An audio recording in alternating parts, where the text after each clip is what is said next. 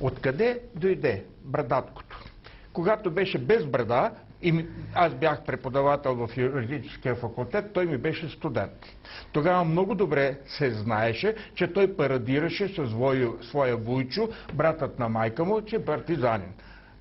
Това много добре го знам. Когато излязох от затвора, аз ги виждах все такива като него. А, и аз се питах, откъде дойдоха.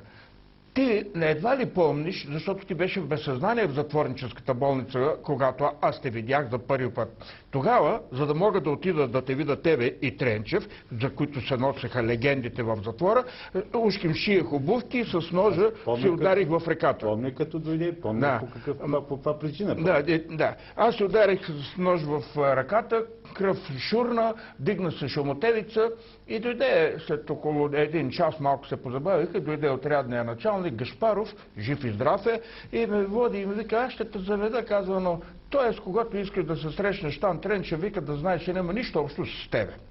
И ме пуснаха да се разхождам, а там всичко под ключ. Отключиха всички врати и ме пуснаха. И аз с него, него го бяха поставили, Тренчев, за да му се грижи за него. А той в системи вързан, разпънат като Христос, за краката му и вързани с а, така, ръцете му и на системи, защото беше... принудително, за Да, такова. да, за- той води гладна стачка и протестира. А он се грижи за него. А, тогава, ето, така се запознах с тебе. Останах, останах с убеждение, че си в, нали, в системи и не бо... Така. Но питам, откъде дойдоха другите? Ето този.